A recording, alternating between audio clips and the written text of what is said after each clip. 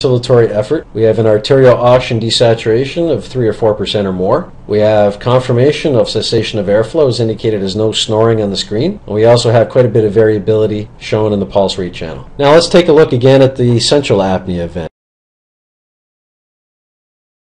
Here again is a central apnea event is indicated as CA. The mouse over indicates that the duration is 28.8 seconds, which is of course much longer than 10 seconds. We see confirmation of no respiratory effort, and the event is of course followed by an arterial oxygen desaturation from 96% to 84%, or in other words a 12% desaturation lasting 35 seconds. Both preceding and following the respiratory event, we have sinusoidal effort and airflow, and of course we have no snoring during the apnea event, further confirming cessation of airflow, and we have variability in the pulse rate signal. This is a classic textbook central apnea event.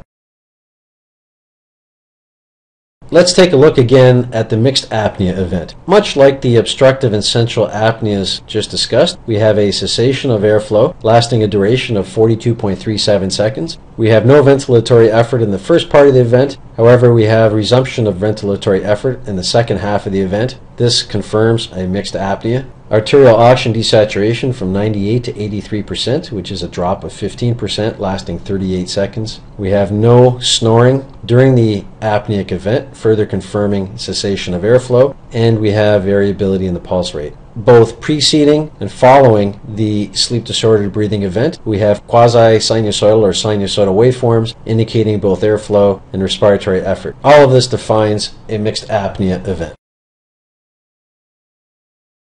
Now, having discussed the three types of apnea in detail, let's take a look at a common type of sleep disordered breathing event called an hypopnea. An hypopnea is defined as a significant drop in the amplitude of airflow accompanied by an arterial oxygen desaturation of 3% or 4%. The default rule used by the Braebon MediByte Junior software is a drop of 30% or more in the amplitude of the airflow for at least 10 seconds or longer, accompanied by a drop of 4% or more in arterial oxygen saturation. Let's take a closer look now at the details of defining an hypopnea event. Here we see an hypopnea within this highlighted area. We know this is an hypopnea because it's a drop of 30% or more in the amplitude of the airflow for at least 10 seconds or longer, and it's accompanied by an arterial oxygen desaturation of 4% or more. Also, you'll notice that there's continued snoring during most of this event. This indicates that it's a partial obstruction of airflow, not a total obstruct. There still remains heart rate variability. So to summarize, what we have is a decrease in airflow amplitude of 30% or more, lasting 10 seconds or longer, and an arterial oxygen desaturation of 4% or more. Now that we've discussed both apneas and hypopneas, let's take a look at how you might actually want to score an event. First, I'll remove this event by right-clicking and selecting Remove Event. Next, I'll left-click, drag to the right, and then release. I'll select hypopnea, this is how one would score an event. However, the MediByte Junior software is very reliable in its scoring. Having discussed both apneas and hypopneas in detail, let's take a look at another phenomenon called positional apnea.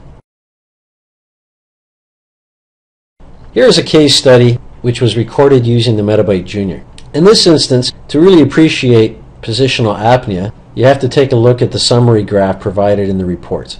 Here, what we see is the patient fell asleep supine at the beginning of the night around 20 after 10 p.m. When they're on their left side, the SpO2 is relatively flat. However, as soon as they go back to sleeping supine or sleeping on their back, you'll notice the SpO2 goes up and down like a yo-yo. When they turn to their right side, the SpO2 is relatively flat again. And as soon as they go back supine, the SpO2 is up and down again, the frequent desaturation. If you take a look at the respiratory results by body position printed out in the MediByte Junior report, there's some really important information here. The apnea plus hypopnea index, or AHI, is 45.4 while the patient is supine. However, total non-supine is only 1.5. We know that any AHI less than 5 is considered within normal limit. Therefore, this patient, while sleeping non-supine, is within normal limits. However, sleeping supine, this patient has severe apnea. That's because their AHI is greater than 30. This defines textbook positional apnea.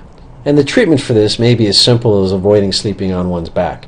Below, we have a follow-up study performed three weeks later. The patient was given a positional treatment device, and the AHI while supine dropped from a baseline of 45.5 to 0.0. Total non-supine went from 1.5 to 4.0. Therefore, this patient was cured because their AHI remained below 5.0. Such baseline and follow-up recordings are commonly used because this is one of the advantages of home sleep testing. Having discussed positional apnea, let's take a look at baseline and follow-up using oral appliance treatment within a dental practice. Here we have the same patient recorded twice over a weekend. The first night with no oral appliance as the baseline, the second night with the oral appliance as the follow-up. On the reports, we see that the apnea-hypopnea index has a baseline of 16.4. With the oral appliance, however, the apnea-hypopnea index went to 4.8. This means that we are less than 5.0 and may consider this a successful case because we are now within normal limits. If we take a look at the SpO2 data, you'll see that 1% of the night was beneath 90%. However, with the oral appliance in place, that number dropped to 0% of the time.